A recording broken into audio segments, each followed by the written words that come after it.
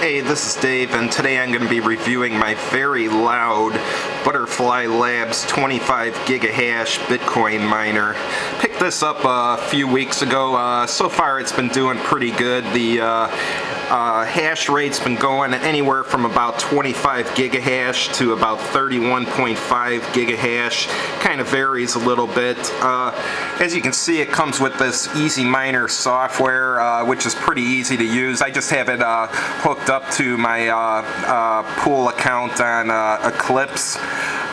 So far, Easy Miner, it works, but I suspect there may be a memory leak in it because I've noticed after about anywhere from 24 hours to 36 hours of operation that all of a sudden uh, on my uh, Eclipse page it will start showing like uh, out of nowhere it's only doing like 9 gigahash a second.